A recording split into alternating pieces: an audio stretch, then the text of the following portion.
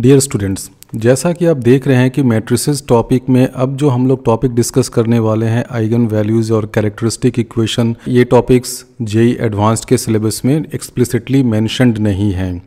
ना ही कभी भी आपसे कोई क्वेश्चन पूछा जाएगा जिसमें इस तरह के वर्ड्स आइगन वैल्यूज़ या कैरेक्टरिस्टिक इक्वेशन वगैरह यूज़ किया जाएगा।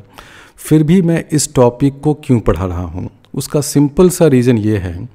कि जेई एडवांस्ड में बहुत सारे ऐसे क्वेश्चंस पूछे जाते हैं, जिनको अगर आप रूटीन मेथड से सॉल्व करें तो शायद कर भी सकते हैं, लेकिन बहुत टाइम लगेगा। लेकिन अगर आप उनको उन आइडियाज़ का यूज़ करके सॉल्व करें, जिनको मैं आज डिस्कस करने जा रहा हूँ तो उन क्वेश्चंस को आप काफ़ी फास्ट और ज़्यादा सिस्टमेटिक ढंग से सॉल्व कर सकते हैं। तो आप कहेंगे कि जब ये सिलेबस में लिखा ही हुआ नहीं है तो जेई वांस वाले पूछते क्यों हैं? उसका सिंपल सा रीज़न ये है कि आइगन वैल्यूज़ और कैरेक्टरिस्टिक इक्वेशंस ये सब जो टॉपिक हैं, इनको स्टडी करने के लिए आपको कोई नया कॉन्सेप्ट स्टडी करने की ज़रूरत नहीं है।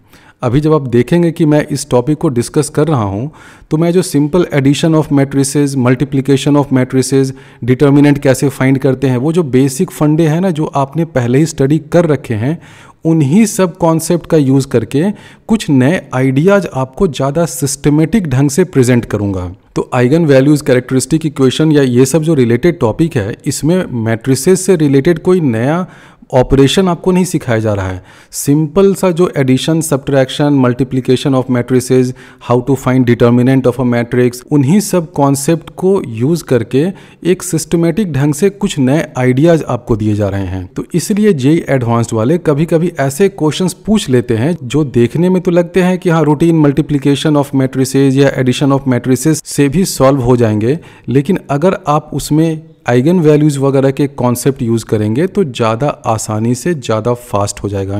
तो इसलिए इस टॉपिक को जो लोग सिर्फ़ जेई मेंस तक स्टडी कर रहे हैं, वो तो बिल्कुल ही छोड़ दें। ये टॉपिक स्टूडेंट्स को कॉम्प्लिकेटेड लगता है, लेकिन मैं इस टॉपिक को बिल्कुल बेसिक लेवल से ज़ीरो लेवल से स्टार्ट करूँगा और धीरे धीरे सारे आइडियाज़ को डेवलप करूँगा और ज़ीरो लेवल से लेकर के आपको जेई एडवांस के टफ क्वेश्चन के लेवल तक। जेई एडवांस टू में एक बहुत ही अच्छा क्वेश्चन पूछा गया था, जिसको आप आइगन वैल्यूज़ वगैरह के ही कॉन्सेप्ट से सॉल्व करेंगे तो आसानी से सॉल्व कर पाएँगे। रूटीन कॉन्सेप्ट जो अब तक आपने पढ़ा है, उससे सॉल्व करने की कोशिश करेंगे तो बहुत ही मुश्किल होगा। तो मान लीजिए आपको एक ए स्क्वायर मैट्रिक्स दे रखा है, एन बाई एन ऑर्डर का है, और आपको एक एक्स कॉलम वेक्टर दे रखा है। कॉलम वेक्टर का मतलब ये हुआ कि इसमें इस तरह के एन एलिमेंट्स होंगे और इसका ऑर्डर क्या होगा, एन बाई वन। तो ये होता है कॉलम वेक्टर। तो ए क्या है? एन बाई एन मैट्रिक्स है। ये क्या है? एन बाई वन कॉलम है।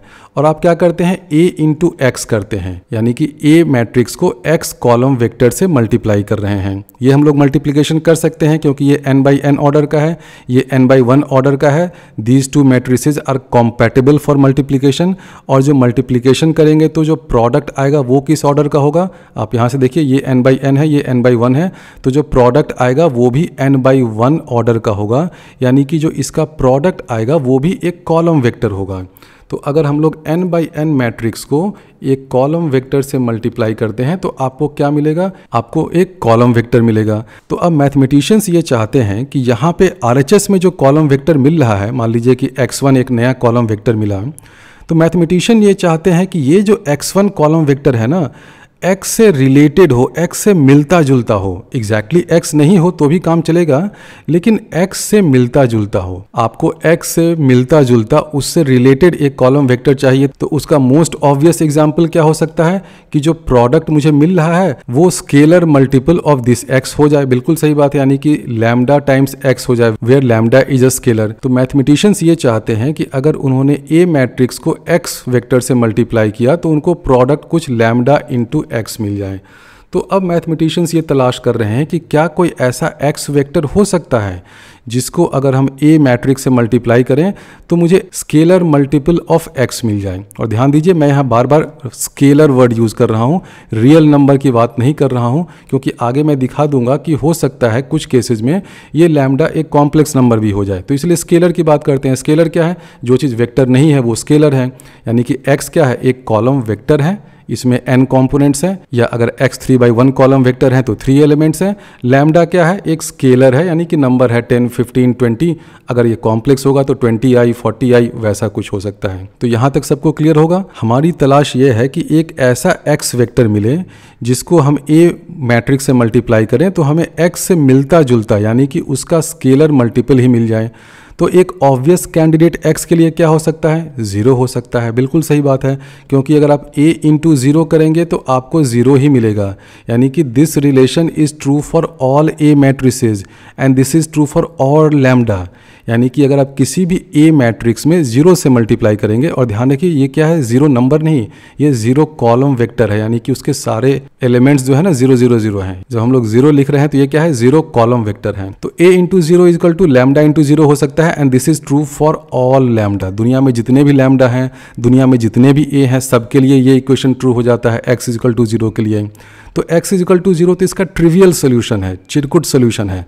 तो मैथमेटिशियन बोलेंगे कि अरे फालतू में ये ज़ीरो फिर से यहाँ घुस गया और इस ज़ीरो के आने से ना मुझे कुछ लैमडा के बारे में पता चल रहा है, ना मुझे इस कुछ ए मैट्रिक्स के बारे में पता चल रहा है। तो इस ज़ीरो को तो भाई कान पकड़ के यहाँ से बाहर निकालो। ये ज़बरदस्ती ज़ीरो हर जगह घुस जाता है, इसकी कोई यहाँ पर ज़रूरत है नहीं। मुझे ज़ीरो सोल्यूशन नहीं चाहिए, मुझे नॉन ज़ीरो सोल्यूशन चाहिए। तो मैथमेटिशियन ने एक कंडीशन लगाया कि हाँ ये A X equal to lambda X तो हो जाए, लेकिन X should not be equal to zero column vector तो अगर ये कंडीशन किसी मैट्रिक्स ए किसी कॉलम वेक्टर x और किसी लैम्डा के लिए सेटिस्फाई होता है तो वैसे केस में इस लैम्डा को कहते हैं eigenvalue of that matrix A eigenvalue ये लैम्डा क्या हुआ? ये हो गया आइगन वैल्यू और इस x को कहते हैं आइगन वेक्टर क्योंकि ये वेक्टर है तो इसलिए इसका आइगन वेक्टर नाम दे दिया, ठीक है? For any N by N order matrix A if A into X is equal to lambda times X where X is non zero ये बहुत इंपॉर्टेंट है, क्योंकि अगर आप X is equal to zero allow कर देंगे तो लैमडा कुछ भी हो, ये रिलेशन सेटिस्फाई हो जाता है। तो if X is not equal to zero then we say that lambda is eigenvalue of that matrix and x is an eigenvector corresponding to that lambda यानी कि उस लैमडा के लिए ये जो x है वो आइगन वेक्टर है। इस लैमडा के लिए x जो है वो एक आइगन वेक्टर है। अब दूसरी बात यह है कि क्या ये x यूनिक है? क्या हम लोग इसको द आइगन वेक्टर बोल सकते हैं? नहीं, ये यूनिक नहीं है। वो इसलिए यूनिक नहीं है कि मान लीजिए अगर x एक आइगन वेक्टर है तो alpha times X where alpha is an scalar number alpha times X भी आइगन वेक्टर हो जाएगा, क्योंकि अगर एक्स आइगन वेक्टर है तो देखिए ए इंटू एक्स क्या है? Lambda times X A into alpha X क्या हो जाएगा? This is equal to alpha into A X this is equal to alpha into lambda X this is equal to lambda into alpha X यानी कि alpha x जो है, वो भी इस इक्वेशन को सेटिस्फाई कर रहा है. A into alpha X is equal to lambda into alpha X यानी कि अगर आपको एक आइगन वेक्टर मिल गया तो उसका जितना भी लीनियर मल्टीपल हो ना, या स्केलर मल्टीपल हो, वो भी आइगन वेक्टर हो जाता है। यानी कि किसी एक पर्टिकुलर ए के लिए आपको एक आइगन वेक्टर मिल गया, वन, टू, थ्री। मान लीजिए, किसी एक मैट्रिक्स के लिए आपको one, two, three eigenvector मिल गया। तो टू फोर सिक्स क्या होगा? ये भी एक आइगन वेक्टर हो सकता है। थ्री फोर नाइन क्या होगा? ये भी एक आइगन वेक्टर होगा। यानी कि आप इस तरह हज़ारों इनफाइनाइट आइगन वेक्टर्स लिख सकते हैं। यानी कि हर लैमडा के लिए इनफाइनाइट आइगन वेक्टर्स होते हैं। आपने एक लैम्डा कहीं से एक मैट्रिक्स का निकाल कर दिया उसको कैसे निकालेंगे वो अलग कहानी है, लेकिन मान लीजिए कि आपने एक लैमडा निकाल लिया एक मैट्रिक्स का कि लैमडा की वैल्यू आ गई फाइव तो इस फाइव के करस्पॉन्डिंग अगर वन टू थ्री एक आइगन वेक्टर है तो मैं बोल सकता हूँ कि टू, फोर, सिक्स भी होगा, थ्री, सिक्स, नाइन भी होगा। यानी कि इस वन, टू, थ्री का जितना भी लीनियर मल्टीपल हो जाए, वो सभी के सभी आइगन वेक्टर हो जाएँगे करस्पॉन्डिंग टू दिस लैमडा यानी कि आइगन वेक्टर जो है, वो यूनिक नहीं होता है। इसलिए वर्ड जो यूज़ करते हैं आर्टिकल जो यूज़ करते हैं और वर्ड यूज़ करते हैं। हम लोग द की बात नहीं करते हैं। अगर आपको द की बात करनी है, यानी कि दी आइगन वेक्टर चाहिए तो आपको कुछ और कंडीशन देना पड़ेगा। आपको ये बोलना पड़ेगा कि हाँ आप वैसा आइगन वेक्टर मुझे फाइंड करके दो, जिसका सेकेंड एलिमेंट वन है। तो ठीक है, उस केस में ये फिक्स हो जाएगा। सेकेंड एलिमेंट अगर वन है तो हो सकता है कि फ़र्स्ट एलिमेंट फोर हो जाए, ये एलिमेंट सिक्स हो जाए, कुछ कंडीशन आए तो फिक्स हो गया। या आप दूसरा कुछ कंडीशन दे सकते हैं, ऐसा आइगन वेक्टर फाइंड करके दो, जिसका मैग्नीच्यूड जो है वो वन है या मैग्नीच्यूड टेन है। मैग्नीच्यूड ऑफ़ अ वेक्टर क्या होता है? जो सिंपल कॉन्सेप्ट आप लोग जानते हैं ना मैग्नीट्यूड ऑफ़ वेक्टर क्या होता है, जिसको मैंने पिछले लेक्चर में नॉर्म भी बोला था तो अगर आप यूनिक आइगन वेक्टर चाहते हैं तो आपको कुछ ना कुछ और कंडीशन देना पड़ेगा। नहीं तो एक पर्टिकुलर लैम्डा के लिए बहुत सारे आइगन वेक्टर एक्स हो जाते हैं, क्योंकि अगर एक्स एक आइगन वेक्टर है तो उसके जितने भी लीनियर मल्टीपल्स हैं, और इसके लीनियर मल्टीपल्स इनफाइनाइट हो सकते हैं, सारे के सारे अल्फ़ा एक्स जो हैं, वो भी इस इक्वेशन को, इस सिंपल से इक्वेशन को सेटिस्फाई करते हैं तो ये अल्फ़ा एक्स भी आइगन वेक्टर होगा, इसलिए आइगन वेक्टर्स की संख्या इनफाइनाइट हो जाती है। आपको उस हज़ारों में से कोई एक पर्टिकुलर चाहिए तो आपको कुछ ना कुछ और कंडीशन देना पड़ेगा। ये कंडीशन देना पड़ेगा कि उसका पहला एलिमेंट वन है, या लास्ट एलिमेंट वन है, या लास्ट एलिमेंट टेन है, या दूसरा एलिमेंट फाइव है। कुछ कंडीशन दीजिए, उसको फिक्स करिए। तो यहाँ तक सबको क्लियर होगा कि आइगन वैल्यू की डेफिनेशन क्या होती है, आइगन वेक्टर की डेफिनेशन क्या होती है and by definition eigenvector को नॉन ज़ीरो होना पड़ेगा। अब अगला इंपॉर्टेंट क्वेश्चन है कि इस आइगन वैल्यू को फाइंड कैसे किया जाए? लैमडा कहाँ से आएगा? क्योंकि लैमडा आएगा तभी मैं एक्स फाइंड कर सकता हूँ तो एग्ज़ाम में जेई एडवांस में कभी भी आइगन वैल्यू टर्म यूज़ करेंगे ही नहीं। वो बिना इस टर्म को यूज़ किए ही आपको कुछ इस तरह का इक्वेशन दे देंगे। लिख देंगे कि हाँ A X equal to ten X है तो बताओ ये क्या होगा, वो क्या होगा। आपको पता ही नहीं चलने देंगे कि ये जो टेन है, वो आइगन वैल्यू है। ऐसा ही एक क्वेश्चन जेई एडवांस 2019 में पूछा गया था।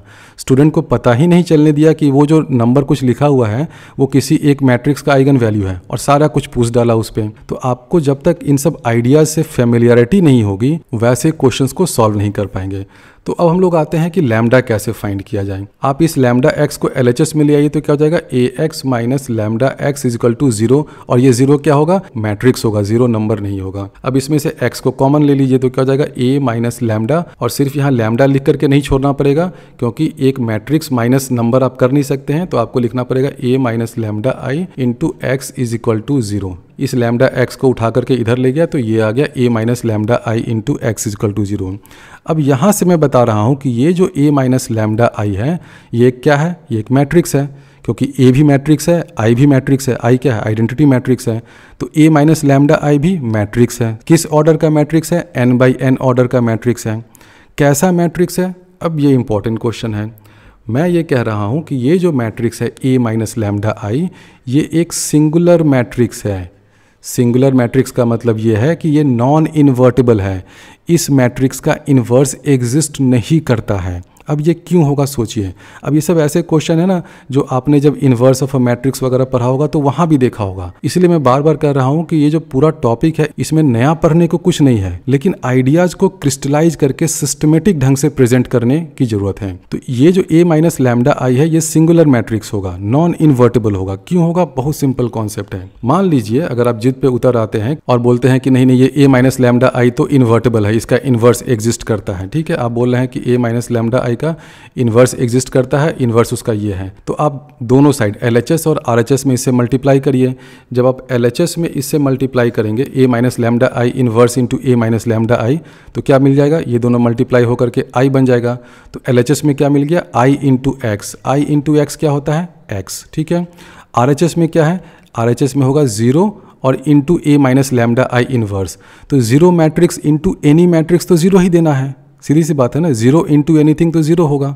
तो आपको क्या मिल गया? एक्स इजिकल टू ज़ीरो तो ये तो कॉन्ट्रोडिक्शन हो गया इसका। हो गया ना? क्योंकि हम तो शुरुआत से ये मान कर चल रहे हैं कि x को तो ज़ीरो होना ही नहीं है। तो ये तो कॉन्ट्रोडिक्शन आ गया। इसका मतलब इस a माइनस लैमडा आई का इन्वर्स एग्जिस्ट नहीं करेगा। ये जो a माइनस लैमडा आई है सिंगुलर मैट्रिक्स है। सिंगुलर मैट्रिक्स क्यों है? क्योंकि अगर ये सिंगुलर नहीं होगा तो आप सीधे सीधे ऐसे लिख दीजिएगा कि x is equal to A minus lambda I inverse into zero this is equal to zero but x can not be zero from this condition तो a minus lambda I inverse does not exist अब a minus lambda I का inverse exist नहीं करता है तो इसका मतलब क्या हुआ कि इसका डिटर्मिनेंट ज़ीरो होगा। क्योंकि अगर किसी मैट्रिक्स का डिटर्मिनेंट नॉन ज़ीरो हो जाए, तब तो इन्वर्स एग्जिस्ट करता है। इसका हमने बता दिया कि इन्वर्स एग्जिस्ट नहीं करता है। ये सिंगुलर है बेचारा। सिंगुलर है, इसका मतलब a minus lambda I determinant this is equal to zero अब ये देखिए क्या है, ये डिटर्मिनेंट के फॉर्म में आ गया। ए क्या है? ए एक मैट्रिक्स होगा। माइनस लैमडा आई करिएगा तो आपको पूरा एक मैट्रिक्स मिलेगा। इस मैट्रिक्स का जब आप डिटर्मिनेंट लिखिएगा तो आपको लैमडा के टर्म्स में एक पॉलिनोमियल इक्वेशन आ जाएगा। उस इक्वेशन को कहते हैं कैरेक्टरिस्टिक इक्वेशन उसको जब सॉल्व करिएगा तो लैमडा की कुछ वैल्यूज़ आ जाएँगी। उन्हीं वैल्यू से आप आइगन वैल्यू फाइंड कर लीजिए। तो आप ये भी देख सकते हैं कि the following statements are equivalent A X is equal to lambda X X not equal to zero ये तो डेफिनेशन ही हो गया आइगन वैल्यू और आइगन वेक्टर का। अगर ये ट्रू है वन ट्रू है तो टू भी ट्रू होगा। टू ट्रू होगा तो थ्री भी ट्रू होगा। इक्विवेलेंट का भी मतलब होता है ना कि इन तीनों स्टेटमेंट में से अगर कोई एक भी स्टेटमेंट ट्रू है तो बाकी दो ट्रू होगा। या ये भी मतलब होता है कि one implies two two implies three फिर थ्री इम्प्लाइज वन यानी कि कोई भी एक स्टेटमेंट अगर आप कहीं से ढूंढ के ले आइए तो बाकी दो सही हो जाएगा। A X equal to lambda X अगर है और X not equal to zero तो मैट्रिक्स को सिंगुलर होना ही है। मैट्रिक्स सिंगुलर है तो उसका डिटर्मिनेंट को ज़ीरो होना ही है। थर्ड वाला जो इक्वेशन है कि A minus lambda I determinant is equal to zero ये बेसिकली क्या है? अगर आप सिर्फ़ इसमें एलएचएस को लें, यानी कि determinant A minus lambda I तो ये क्या बनेगा? ये एक पॉलिनोमियल होगा। किसमें होगा ये polynomial it will be a polynomial in lambda जिसे ना पी लैमडा जिसको हम लोग कह सकते हैं। एल्जेब्रा में देखा होगा ना? मेरे ही लेक्चर में देख लीजिएगा। पी एक्स अगर मान लीजिए कोई पॉलिनोमियल है तो कैसे लिखते थे? X square plus four X plus six ये एक पॉलिनोमियल है। या एक दूसरा पॉलिनोमियल लिख लीजिए X to the power four plus six X cube तो ये सब क्या है? पॉलिनोमियल है। तो उसी तरह जब आप लोग determinant of A minus lambda I लिखिएगा तो लैमडा उसमें इनडिटर्मिनेट होगा। पी लैम्डा क्या होगा? पॉलिनोमियल इन लैमडा होगा। पी ऑफ़ टू फाइंड करना है तो क्या करिएगा? एक्स की जगह टू डाल दीजिए, कुछ आ जाएगा। पी ऑफ़ थ्री फाइंड करना है तो क्या करिएगा? एक्स की जगह थ्री डाल दीजिए, कुछ आ जाएगा। एग्जैक्टली exactly वही चीज़ इसमें भी होता है कि मान लीजिए आपको ये पॉलिनोमियल एक दे रखा है। ये क्या है? This is a polynomial in lambda तो आपको फाइंड करना है पी ऑफ़ टू तो इस पॉलिनोमियल में आप लैमडा की जगह टू डाल दीजिएगा। आपको कुछ नंबर मिल जाएगा। सिक्सटीन फोर्टीन कुछ मिलना हो मिल जाएगा। आपको पी ऑफ़ थ्री फाइंड करना है तो उसमें लैमडा की जगह थ्री डाल दीजिएगा। आपको कुछ और मिल जाएगा। तो ये जो पॉलिनोमियल है ना, इसको कहते हैं कैरेक्टरिस्टिक पॉलिनोमियल ध्यान रखिए कैरेक्टरिस्टिक पॉलिनोमियल जो हम लोग किसी चीज़ को पी एक्स सिर्फ़ लिख रहे हैं ना तो ये पॉलिनोमियल हो गया। पॉलिनोमियल मतलब एक्सप्रेशन हैविंग मेनी टर्म्स इसी में अगर P X is equal to zero कर देते हैं तो ये इक्वेशन बन जाता है। तो हमने जब यहाँ तक लिखा कि determinant of A minus lambda I तो इसको कह देते हैं कि हाँ भाई, ये तो कैरेक्टरिस्टिक पॉलिनोमियल है। अब इसमें अगर इज़ इक्वल टू ज़ीरो कर दें तो ये पूरा इक्वेशन आ गया। ध्यान दीजिए, ये क्या है? A minus lambda I determinant is equal to zero ये है characteristic equation of that matrix A. और इस इक्वेशन के रूट्स क्या होंगे? रूट्स इसके आइगन वैल्यूज़ हो जाएँगे, क्योंकि इसके जो रूट्स होंगे, उन्हीं पर्टिकुलर लैमडा के लिए ये वाला इक्वेशन सेटिस्फाई कर रहा है। तो जो कैरेक्टरिस्टिक इक्वेशन होता है एक मैट्रिक्स का, जैसे ये हुआ कैरेक्टरिस्टिक इक्वेशन इसके जो रूट्स होंगे वो हो जाते हैं eigen values of that matrix. जैसे ये एक टू बाई टू ऑर्डर का मैट्रिक्स है ए बी सी डी तो इसका कैरेक्टरिस्टिक पॉलिनोमियल क्या हो जाएगा? A minus lambda I lambda I का मतलब क्या है? आई में तो वन वन एंट्री होती है तो ए माइनस लैमडा यहाँ गया D minus lambda B C इसका डिटर्मिनेंट जब पूरा एक्सपैंड करेंगे तो ये ऐसा हो जाएगा lambda square minus A plus D lambda plus A D minus B C तो ये जो पूरा हमने लिखा है, क्या है? ये एक पॉलिनोमियल है। किसमें है ये polynomial this is a polynomial in lambda अगर आपको कोई पूछे कि पी ऑफ़ टू की वैल्यू क्या है तो आप लैमडा की जगह टू डाल दीजिए, जो भी नंबर आएगा, क्योंकि ए बी सी डी कुछ नंबर होगा। जो भी आ गया फोर्टीन सिक्सटीन आ गया, वो हो गया। कोई पूछे कि पी ऑफ़ थ्री क्या होगा तो आप इसमें लैम्डा की वैल्यू थ्री डाल दीजिए, जो भी नंबर आए सेवनटीन एटीन उसको बता दीजिए। तो ये हुआ कैरेक्टरिस्टिक पॉलिनोमियल जब हम लोग इक्वेशन की बात करते हैं तो हम लोग क्या पूछते हैं कि मुझे वैसा लैम्डा बताओ ताकि this P lambda is equal to zero और वैसे पर्टिकुलर लैमडा जिनके लिए P lambda is equal to zero हो जाए तो वो क्या हो जाते हैं? इस कैरेक्टरिस्टिक इक्वेशन के रूट्स तो इसके जो रूट्स होंगे इस सेकेंड डिग्री इक्वेशन के, उसके लिए A minus lambda I singular हो जाएगा। यानी कि वो सब जो रूट्स होंगे, वो आइगन वैल्यू हो जाएँगे। क्योंकि अभी मैंने दिखाया था ना कि वन टू थ्री तीनों स्टेटमेंट इक्विवेलेंट हैं। तो अगर determinant of A minus lambda I is equal to zero हो गया, यानी कि वैसे लैमडा क्या है? इस इक्वेशन के रूट्स हैं। रूट्स हैं और साथ ही साथ वैसे लैमडा क्या है? पहला स्टेटमेंट था A X is equal to lambda उसको भी सेटिस्फाई कर रहे हैं। क्योंकि मैंने तीन स्टेटमेंट लिखा था और तीसरे में था ये वाला स्टेटमेंट तो कोई लैमडा अगर इस इक्वेशन को थर्ड स्टेटमेंट को सेटिस्फाई कर रहा है, इसका मतलब ऑब्वियसली वो फ़र्स्ट स्टेटमेंट को भी सेटिस्फाई करेगा। यानी कि अगर कोई लैमडा इस कैरेक्टरिस्टिक इक्वेशन का रूट है तो वो A X is equal to lambda इस इक्वेशन को भी सेटिस्फाई करेगा, यानी कि वो आइगन वैल्यू भी हो जाएगा। ये ध्यान रखिए कि अगर ये टू बाई टू ऑर्डर का मैट्रिक्स है तो ये सेकेंड डिग्री का इक्वेशन है। अगर थ्री बाई थ्री ऑर्डर का ए मैट्रिक्स होगा तो यहाँ पर लैमडा क्यूब आ जाएगा। थ्री डिग्री का इक्वेशन हो जाएगा। अगर एन बाई एन ऑर्डर का मैट्रिक्स है तो यहाँ पर lambda to the power N हो जाएगा। ये एन डिग्री का इक्वेशन हो जाएगा। अब ये देखिए कि ये जो लैमडा है, वो किसका रूट है? इस इक्वेशन का। इस A minus lambda I is equal to zero ये एनथ डिग्री इक्वेशन है, उसका रूट है। और हम लोग जानते हैं कि किसी भी एनथ डिग्री इक्वेशन का कितने रूट्स होते हैं? एन रूट्स होने ही हैं। लेकिन उसमें लफड़ा एक ये होता है कि हो सकता है कि रूट्स कॉम्प्लेक्स हो जाएँ। बिल्कुल हो सकता है। तो ये जो लैमडा है, ये भी कॉम्प्लेक्स हो सकता है। बहुत ही सिंपल केस में आप ऐसा एक मैट्रिक्स लीजिए ज़ीरो माइनस वन यहाँ कर दीजिए वन ज़ीरो आप इस मैट्रिक्स के लिए ये वाला इक्वेशन लिखिए A minus lambda I determinant is equal to zero तो क्या हो जाएगा? यहाँ पर जब ए माइनस लैमडा आई करेंगे तो माइनस लैमडा आएगा माइनस वन आएगा वन आएगा माइनस लैमडा यहाँ आएगा। इसका जब आप एक्सपैंड करेंगे डिटर्मिनेंट तो क्या हो जाएगा? ये आ जाएगा lambda square plus one is equal to zero तो इसका रूट क्या होगा? इस इक्वेशन का lambda is equal to plus minus I आ रहा है। यानी कि इस इक्वेशन के जो आइगन वैल्यूज़ हो गए, वो कॉम्प्लेक्स नंबर हो गए। तो वो हो सकते हैं ना, क्योंकि जो आइगन वैल्यूज़ है, वो कहाँ से आ रहे हैं? वो बेसिकली रूट्स हैं of an nth degree equation और एलजबरा में हमने देखा था कि कोई अगर इक्वेशन हो, जिसमें सारे कोएफिशिएंट रियल नंबर्स ही हैं कोएफिशिएंट कहाँ से आएँगे? इस मैट्रिक्स के एंट्री से आएँगे। तो सारे कोएफिशिएंट अगर किसी इक्वेशन के रियल नंबर भी हों तो भी उसके रूट्स कॉम्प्लेक्स हो जाते हैं। सबसे सिंपल तो यही वाला केस था, X square plus one is equal to zero. इसमें देखिए, ये इक्वेशन है। इसमें सारे जो कोएफिशिएंट हैं, सभी के सभी क्या है? रियल नंबर हैं, लेकिन रूट इसका फिर भी कॉम्प्लेक्स नंबर है। तो वही हाल कैरेक्टरिस्टिक इक्वेशन में भी होता है। बेचारे, इस मैट्रिक्स के सारे के सारे एलिमेंट्स क्या हैं? रियल नंबर हैं। लेकिन फिर भी जब इसका हम लोग लैमडा फाइंड करने जाते हैं तो इसका लैमडा कॉम्प्लेक्स नंबर आ जाता है। तो roots of a characteristic equation आपको क्या देता है? उस मैट्रिक्स का आइगन वैल्यू देता है। अब वो आइगन वैल्यू कॉम्प्लेक्स भी हो सकता है। लेकिन एक चीज़ बिल्कुल पक्की बात है कि मान लीजिए कि लैम्डा अगर आइगन वैल्यू है तो हर लैम्डा के करस्पॉन्डिंग आपको एक एक्स तो मिनिमम मिलेगा ही। और सिर्फ़ एक नहीं, क्योंकि अगर एक एक्स मिल गया तो हमने भी दिखा दिया ना कि उस आइगन वेक्टर एक्स से आप तो हज़ारों आइगन वेक्टर बना सकते हैं अल्फ़ा टाइम्स एक्स करते करते। तो इस बात को ज़रूर ध्यान में रखिएगा कि अगर आपको कहीं से एक आइगन वैल्यू लैमडा मिल गया है तो उस लैमडा के करस्पॉन्डिंग तो आइगन वेक्टर होना ही होना है, क्योंकि आइगन वैल्यू की डिफिनीशन ही वही है।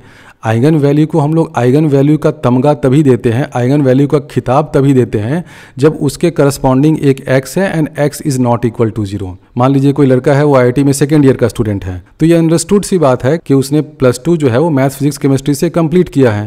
क्योंकि अगर उसने मैथ्स फिजिक्स केमिस्ट्री से कंप्लीट नहीं किया है तो आईआईटी में उसका एंट्रेंस ही नहीं होगा। वही लॉजिक यहाँ पर है। अगर कोई लैमडा आपको कहीं से मिल गया, कहीं से मिल जाए किसी मैट्रिक्स के लिए तो उस लैमडा के करस्पॉन्डिंग तो आपको एक न एक आइगन वेक्टर ज़रूर मिलेगा और सिर्फ़ एक नहीं, हज़ारों मिल जाएँगे। क्यों मिलेंगे?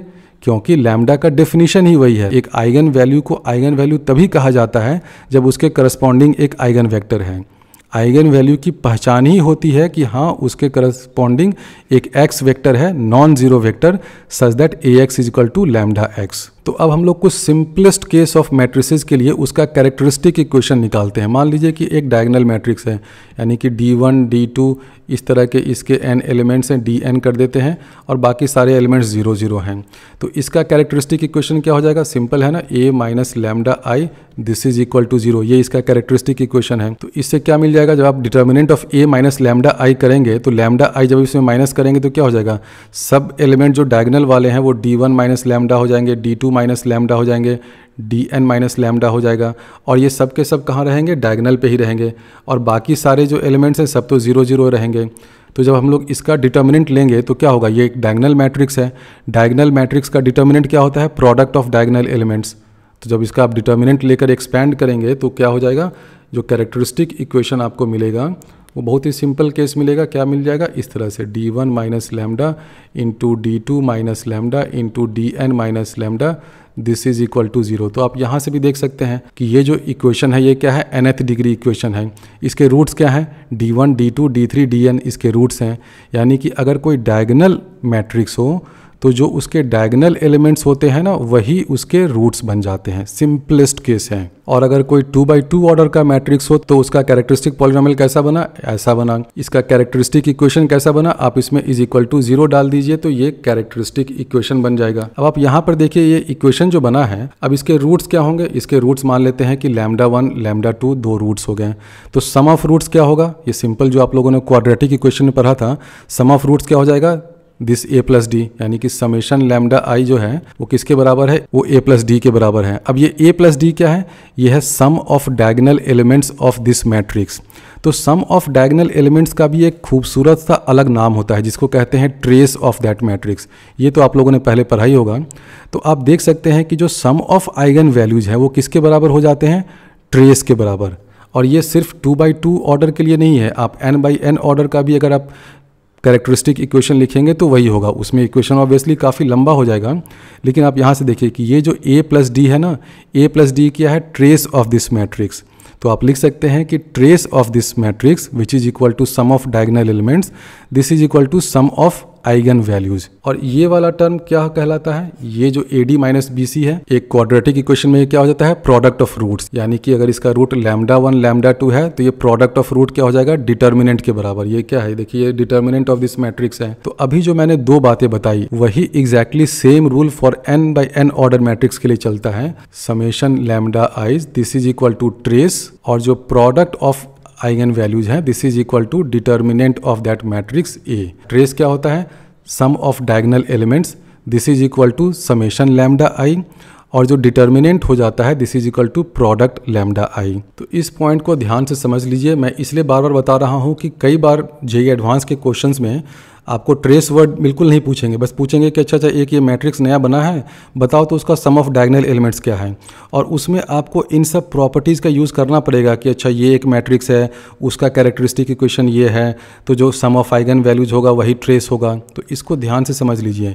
ये अभी मैंने टू बाई टू ऑर्डर के मैट्रिक्स के लिए लिखा है।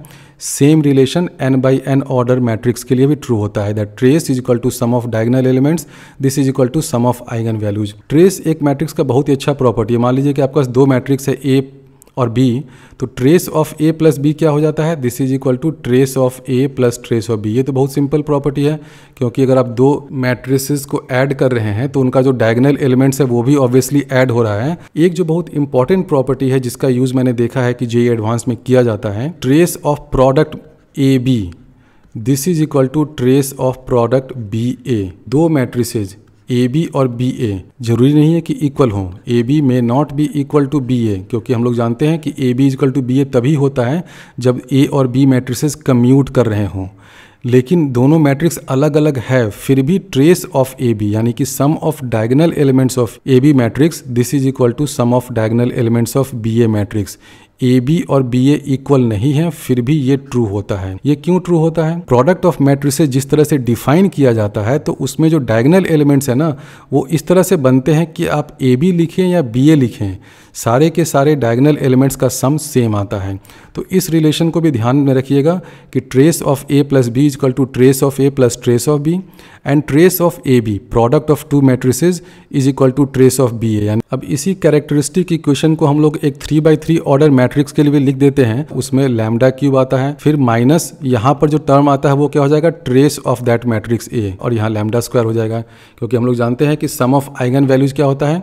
ट्रेस ऑफ़ दैट मैट्रिक्स और सम ऑफ़ रूट्स कहाँ पे आता है? यहाँ पे आता है ना? अगर आप एक क्यूबिक इक्वेशन लिख रहे हैं तो क्या होता है? Lambda cube minus sum of roots plus इसके बाद कुछ यहाँ पे प्रोडक्ट आता है। ये बेसिकली को फैक्टर ऑफ़ डायगनल एलिमेंट्स होता है। उतना आपको याद करने की ज़रूरत नहीं है। फिर यहाँ पर माइनस करना पड़ेगा। Determinant of A this is equal to zero तो ये हो जाता है characteristic equation for a three by three order matrix इसको याद करने की ज़रूरत नहीं है, बस मैंने समझाने के लिए लिख दिया है। अगर आपको एक three by three order matrix आ भी जाए तो आप क्या करिए? बहुत सिंपल है। जैसा कि हमने एक टू बाई टू के लिए लिखा है, वैसा ही आप एक थ्री बाई थ्री मैट्रिक्स के लिए भी लिख सकते हैं। एक three by three order matrix रहेगा तो आप क्या करिएगा? A minus lambda I determinant is equal to zero करना है ना? तो ए माइनस लैमडा आई करते जाइए तो यहाँ पर कुछ टर्म होगा। A one one minus lambda आ जाएगा। यहाँ A two two minus lambda जाएगा, ऐसे तीसरा term A three three minus lambda आ जाएगा। This determinant is equal to zero और यहाँ तो टर्म्स रहेंगे ही। तो इसको जब पूरे को एक्सपैंड कर दीजिएगा फॉर अ गिवन मैट्रिक्स तो जो इक्वेशन आएगा वो इस तरह का आ जाएगा। तो ये हुआ characteristic equation of that matrix तो ये कैरेक्टरिस्टिक इक्वेशन हमने किस केस के लिए लिखा है? हमने लिखा है three by three order matrix के लिए। इसका मोस्ट जनरल एक्सप्रेशन क्या होता है? Determinant of A minus lambda I this is equal to zero ये हुआ characteristic equation of that A matrix